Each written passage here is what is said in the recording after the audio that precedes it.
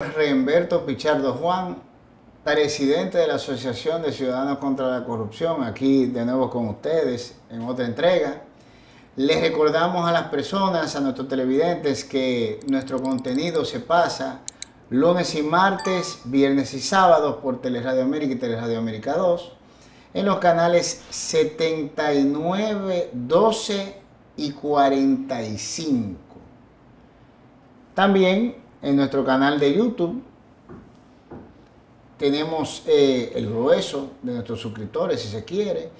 Y quería agradecerles a nuestros suscriptores que están con nosotros desde el principio.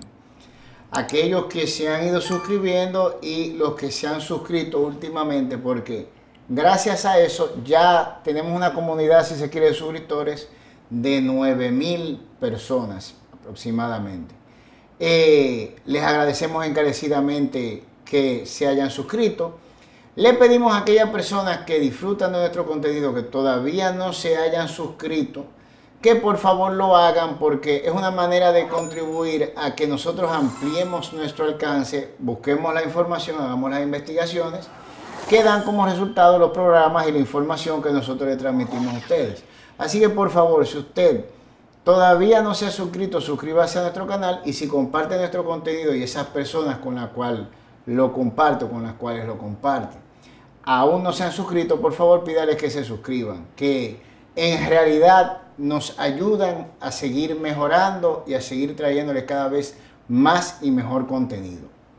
Dicho eso, eh, nosotros hicimos un programa o varios programas en el cual hemos dicho que la situación del canal o del desvío por la canalización del río Masacre en la frontera dominico-haitiana, como hecho era menor que todo lo que se pasó por detrás, en lo que todo el mundo fijaba su atención en ese hecho.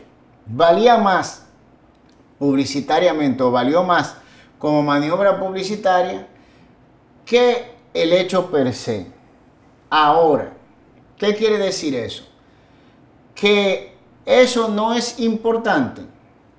Claro que no, de ninguna manera. No. Lo que, lo que quisimos decir con eso fue que en lo que todo el mundo estaba atento a ese hecho, pasaron cosas mucho más grandes por detrás. Pero el hecho sí es bastante importante, principalmente para los agricultores de la zona fronteriza del lado dominicano. Y por eso decidimos hacer este, este programa. Para que se entienda que no es que nosotros no lo consideramos importante, es muy importante. Pero dentro del contexto fue lo que permitió que surgieran y se hicieran muchas cosas por detrás. Hoy vamos a exponer la realidad que eso produjo para esos agricultores. Estamos hablando de agricultores de más de 20 mil tareas de tierra en la línea fronteriza.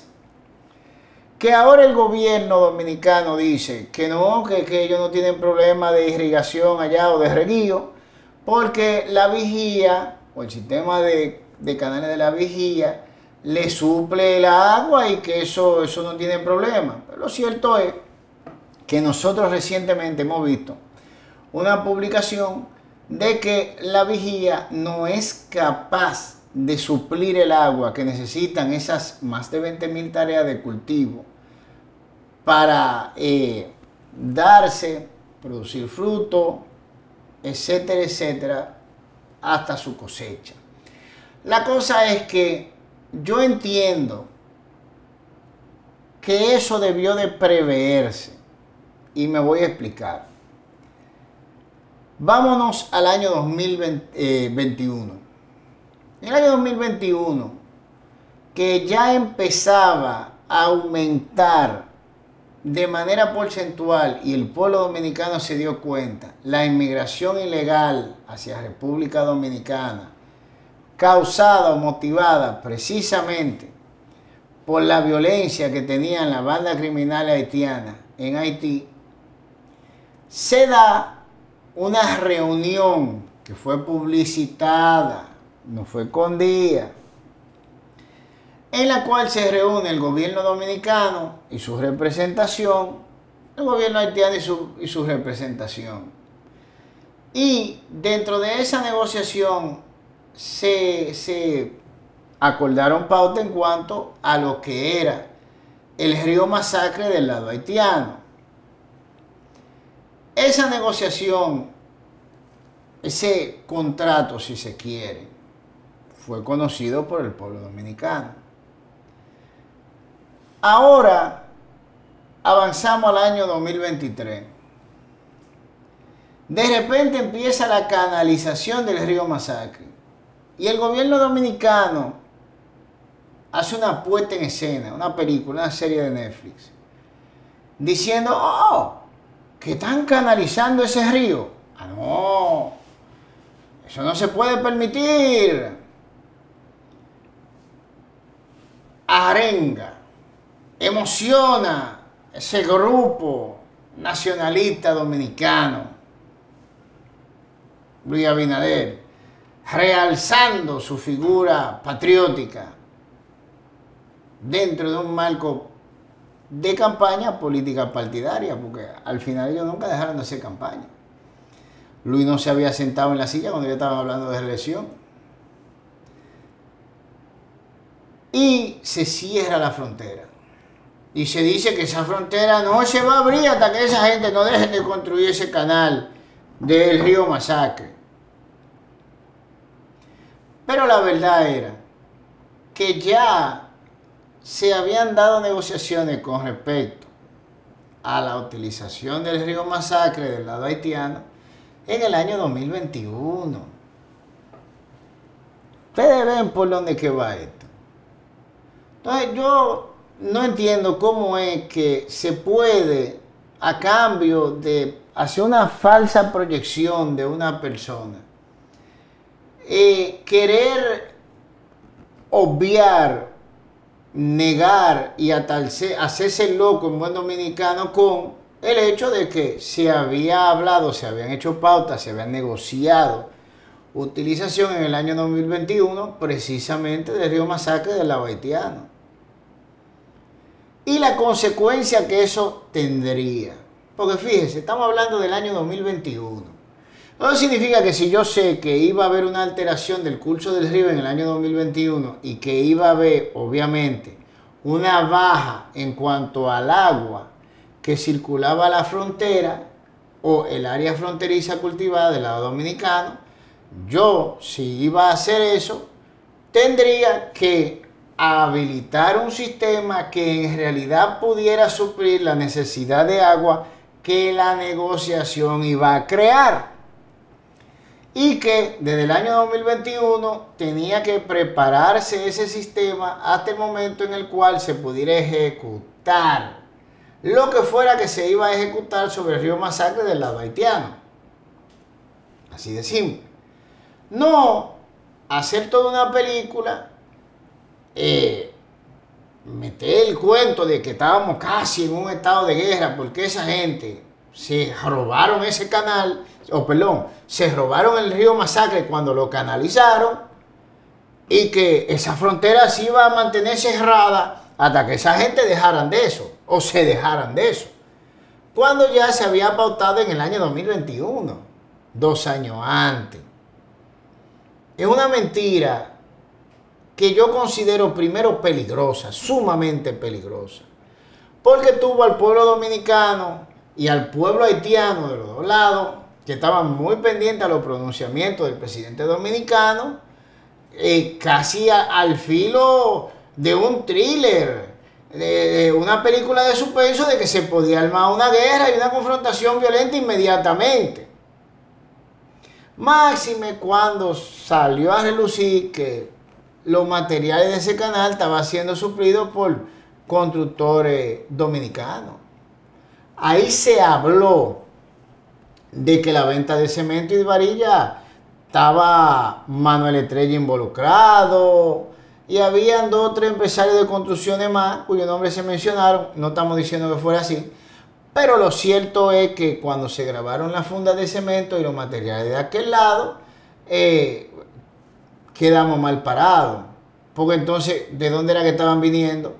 ¿Cómo era que se conseguían? Y dentro, dentro precisamente de ese esquema, también salió a relucir de nuevo la contratación del año 2021, que, o el, el tratado, si se quiere, o el acuerdo al que habían llegado el Estado haitiano o el Estado dominicano. Porque también se sacó a relucir. En lo que el gobierno decía que no, que esa gente agarraron y, cogieron ese río y hasta que no soltaran eso en banda y se dejaran de hacer ese, ese canal ahí, no se iba a abrir la frontera. Al final, ahí quedó reaperturada la frontera bajo el, eh, eh, el, cuento, no, de la presión económica, que los productores que estaban perdiendo, ahí salen los videos de esa gente botando mercancía, vendiendo los huevos para que no se le pudrieran ahí en almacén a lo que fuera y a veces está regalándolo, pollo muerto, etcétera, etcétera, precisamente por el hecho de que eran para ser comercializados y no se comercializó. Y también, también tenemos el problema de las 20.000 tareas de tierra sembrada en la línea fronteriza.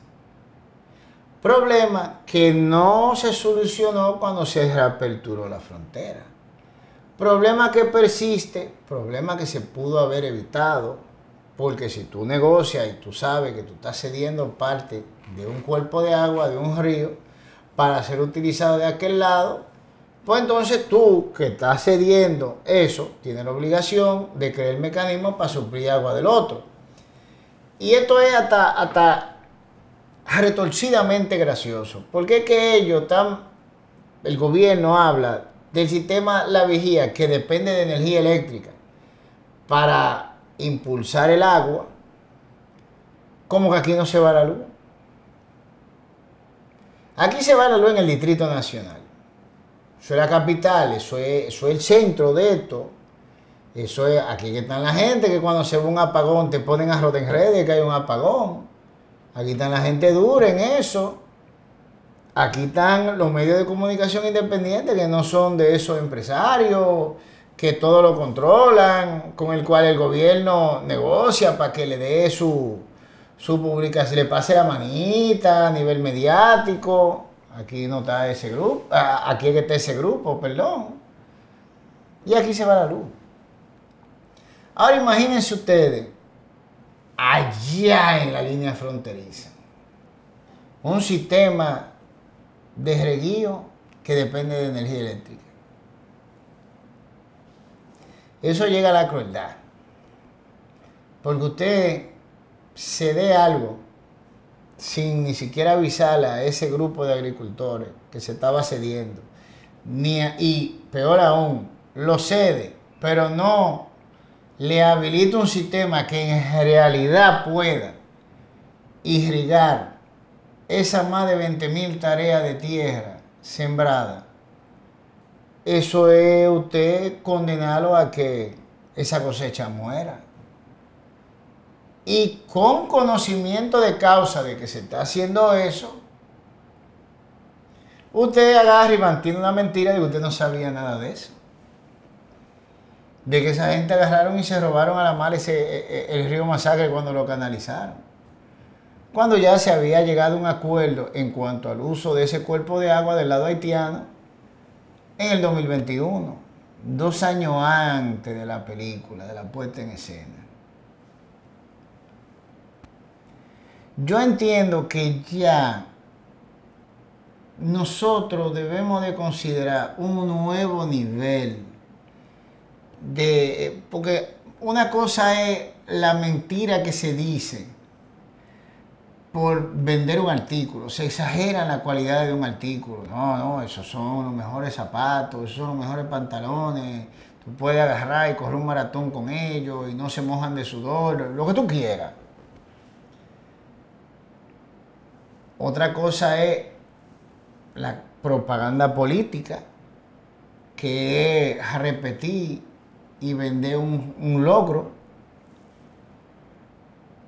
exagerar hasta cierto punto, si se quiere, los beneficios de la aplicación de una política pública o de una construcción estatal.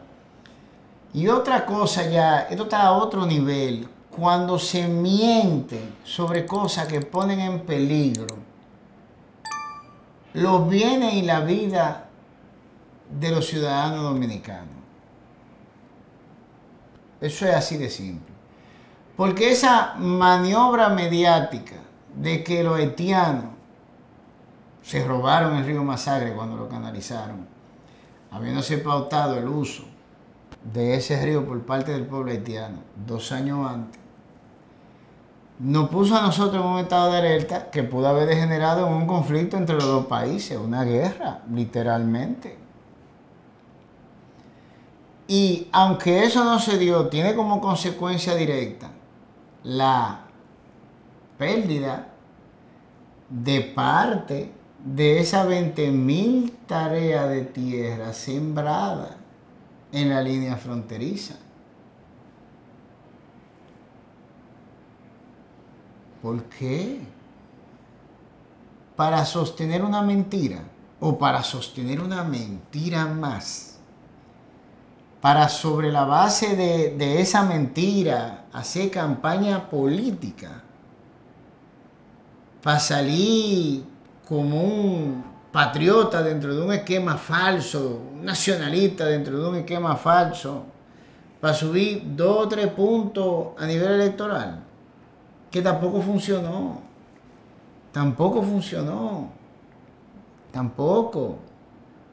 Porque de nuevo se repite el esquema. 18 a 19% de personas fueron a votar por los candidatos del PRM. Igual que cuando se votó por Luis en las elecciones presidenciales. Igualito. Cuando usted habla de que casi el 50% del electorado no fue a votar en el 2020, el 100% sobre el cual la Junta basó sus elecciones, de los votantes que fueron a votar, es en realidad poco más del 50% del electorado. ¿Qué significa eso? Que si usted sacó el 51% de el 51% del electorado, estamos hablando de un 25-26% de la totalidad del electorado. Y cuando usted le quita lo que sacaron los aliados, pues entonces usted se queda con un 18-19% del electorado, de la totalidad. Eso mismo pasó ahora, sin importar la maniobra que hicieron. Le que por eso se puso en riesgo de una guerra la República Dominicana se perdieron millones, millones de dólares, pues no fueron de pesos, de dólares en mercancía, porque uno de nuestros mayores clientes a nivel comercial es Haití, para que se sepa. Y ahora se van a perder o se están perdiendo ya, porque no es suficiente el reguío de la vigía, la cosecha que se encuentran en más de 20 mil tareas de tierra en la línea fronteriza. Todo esto por sostener una mentira. Ahora yo lo voy a dejar ya para concluir con la siguiente pregunta. ¿Cuántas veces y en qué grado tiene que mentirnos a nosotros, el pueblo dominicano, una persona, para que nosotros entendamos que no podemos confiar en absolutamente nada de lo que sale de su boca? Con esa pregunta los dejo y que el Señor los bendiga.